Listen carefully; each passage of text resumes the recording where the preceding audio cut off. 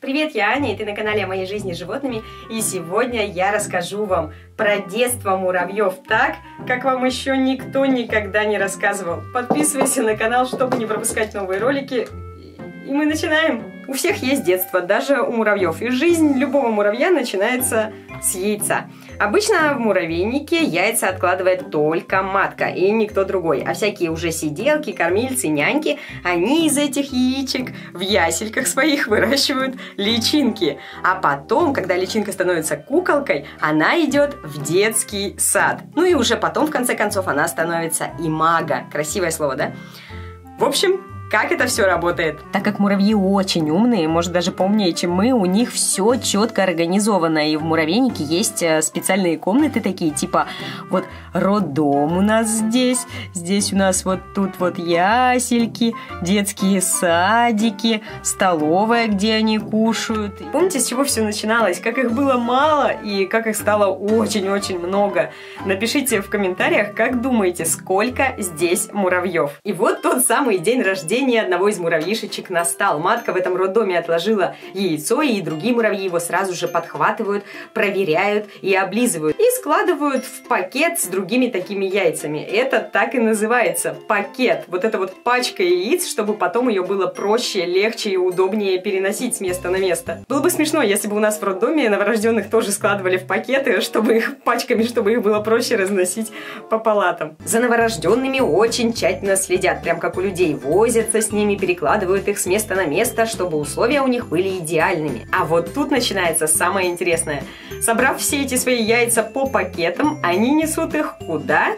Правильно, в муравьиные ясли. Наш муравьишка по имени Петя бежит такой с пакетом яиц и думает, так, ой, не туда попал, где тут ясли, мне в другой коридор надо, как тут в этом муравейнике не заблудиться, никому свой пакет с яйцами не отдам. Другой такой говорит, давай мне, я донесу. Нет, и тебе тоже не отдам, так, аккуратнее, дайте пройти, я несу пакет с яйцами. Что главное в пакете с яйцами, чему меня учили в детстве, главное не разбить яйца. Так, кажется, вот они ясли, наконец-то я донес свой пакет с яйцами. Тут кто-то подбегает, давай их сюда. Нет, это мой пакет и мои яйца. Ну и практически как у нас в яслях, они там постоянно ухаживают за ними, ощупывают, переворачивают, перекладывают с места на место. С ними возятся рабочие муравьи, кормильцы, сиделки, няньки и даже иногда муравьи-солдаты заходят поздороваться с детками. Кстати, если вы хотите побольше подробностей из личной жизни муравьев, например, зачем они едят своих детей или про отношения мальчиков и девочек, и есть ли у них вообще мальчики и девочки, ставьте лайк этому видео. И теперь наш Петя уже несет личинку, а не яйца. Жирненькую такую личинку. Он постоянно переносит ее с места на место, чтобы найти для нее идеальные условия. Ой, упал. Личиночка моя, скоро ты станешь куколкой. И вот когда яички становятся личиночками, они, конечно же, уже просят кушать, и их надо чем-то кормить. У меня муравьи-жнецы, они питаются зернами.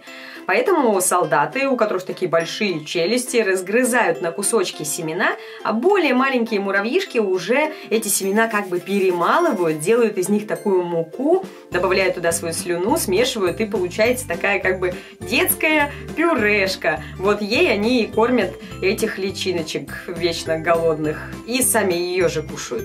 Детская пюрешка. Прям как у нас. Очень прикольно то, что у некоторых видов муравьи могут выбирать себе профессию сами. То есть они такие становятся и мага, повзрослели и решают, кем бы им стать в будущем. А у некоторых видов, и в том числе у моих, муравьи не могут решать, кем им стать. Это зависит от того, сколько личинка ест вот в этом вот возрасте. То есть, чем больше жрешь, тем лучше у тебя будущая профессия. Потому что, когда они много едят, они становятся крупнее и могут, соответственно, стать солдатом или разведчиком.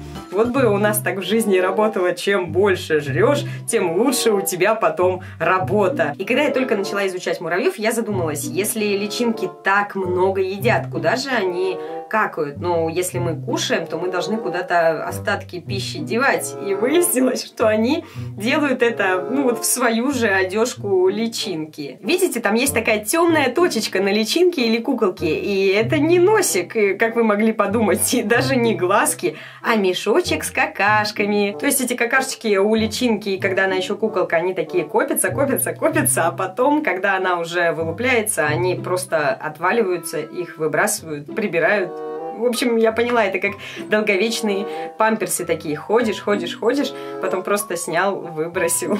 Кстати, обязательно подписывайтесь на наш супер интересный инстаграм. Там всякие прикольные сторисы и фоточки. Юмичу наблюдает за муравьями вместе с киской Алиской. Ну и спустя 1-2 месяца личинка превращается в куколку и переходит детский садик. И вот наш Петя, который круглыми сутками за своей личиночкой ухаживал, тащит ее в детский сад. Такой, все, деточка, хватит уже сидеть в ясельках, пора взрослеть и идти в детский садик.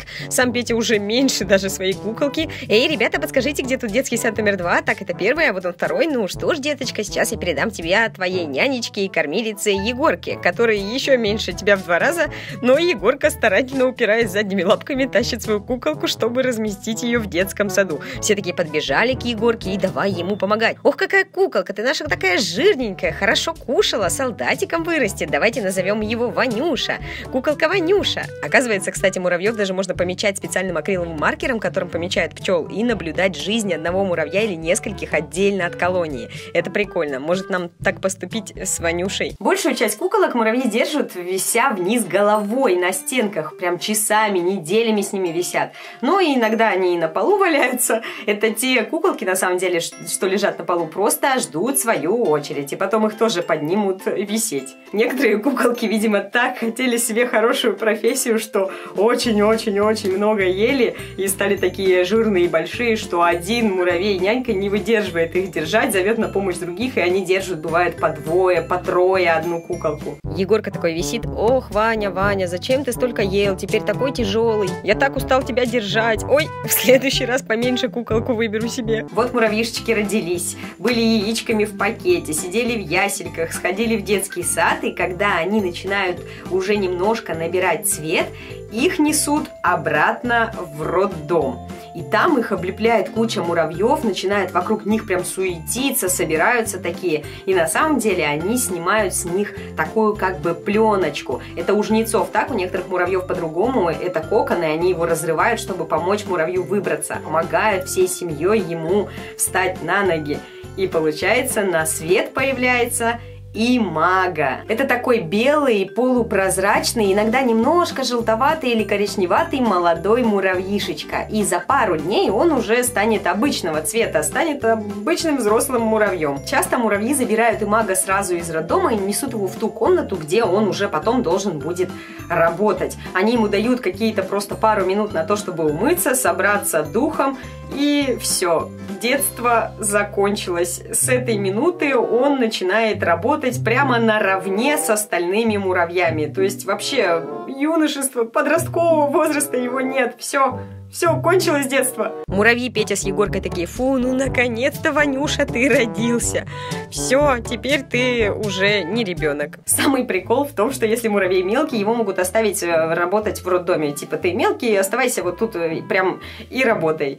Надо было больше кушать, когда ты был личинкой. Хороший урок для жизни. Больше кушай, чтобы вырасти большим. Потому что у муравьев же как? Они, как, каким вот имага родился, таким он и останется. Муравьи больше не растут. Но несмотря на то, что молодые муравьишечки и наш Ванюша сразу же начинают работать, после детского сада они непременно учатся в муравьиной школе, где муравей-учитель учит их тому, чем они будут заниматься. Даже ученые доказали факт, что муравьи учат и учатся. Если, например, учитель-разведчик учит своих молодых муравьев ходить на разведку, то он вместе с детьми проходит свой путь в 4 раза медленнее, чем если бы он шел один. Если бы он шел один, он бы просто побежал по своему пути, который он уже знает и пробежал бы его очень быстро. Это говорит о том, что он их ждет, подсказывает, помогает им понять свою будущую роль. И так в каждой работе старшие учат младших. Ну и вот наш мага Ванюша, крупный парень, и пока он молодой, он помогает справляться более маленьким муравьишкам, вот, например, с такими же толстыми личинками, каким был в детстве он.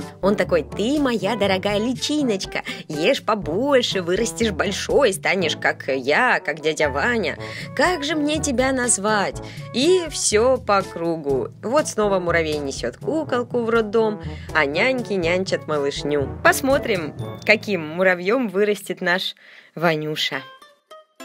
Мы тут с Кисой Алисой узнали, что вы не в курсе, что у меня есть свой канал, и у них есть свой личный канал. И там сегодня тоже ролики, так что обязательно сходите, посмотрите и подпишитесь. Вот такие вот муравьи, мега организованные ребята. Я надеюсь, вам понравилось, как я рассказала. Ставьте лайк, пишите свои комментарии, подписывайтесь на канал и увидимся скоро. Пока!